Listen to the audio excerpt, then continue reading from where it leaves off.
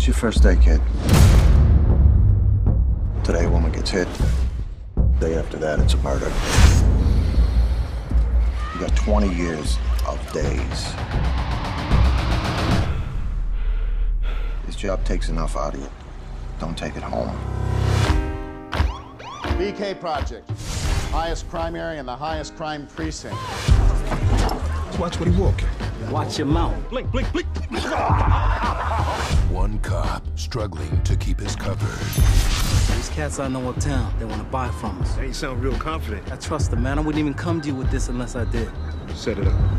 I want my life back, Bill. And I'm working on it. Work harder. One cop desperate to support his family. We're expecting twins. You need a new house.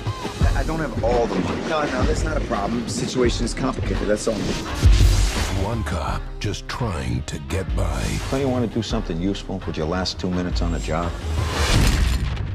Not really. It's gonna be all right, I promise you. They got millions of dollars sitting in office, all drug money. Far be it from me to wag my finger at somebody who's looking out for himself. What are you doing? How much longer you gonna be dodging bullets, man? These streets got an expiration date on them. It's just good to know we got some real fam out there, man. You do this, you got detective first grade. He retires in a few days. Shield, you're done. We're all imperfect creatures. And we're led to sin. Pray for forgiveness.